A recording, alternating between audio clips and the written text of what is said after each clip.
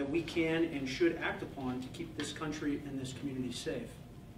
First, with respect to school safety and gun violence, it should be understood by members of this community, by our partners in law enforcement, and anyone who is interested in our overall safety, that there will be zero tolerance from this office for anyone who takes a firearm onto a school campus or anyone who makes a threat to do the same.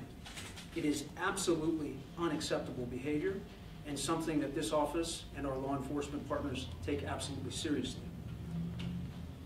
Secondly, and I think very importantly, um, we have identified a number of statutory issues with regard to the tools available to us to prosecute threats made against schools and similar institutions. And that is why we have drafted a letter identifying each of those statutory issues that we will be submitting to the legislature and to the governor for their immediate consideration. Simply put, law enforcement needs more and better tools to intercept and act proactively whenever there is a potential threat to any school safety. In addition, we should reaffirm, and I reaffirm today, our commitment to make the reduction of gun violence the top priority of this administration. And in keeping with that goal and that objective, I want to announce that effective immediately, I have instructed prosecutors within this office to seek pretrial detention of any individual who is charged with any felony offense and uses or possesses a firearm.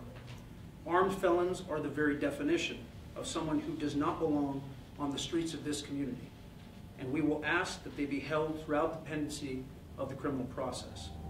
In addition, in light of the newly allocated resources appropriated by the New Mexico legislature and hopefully signed into law by the governor, we will have additional prosecutors available to us inside this office.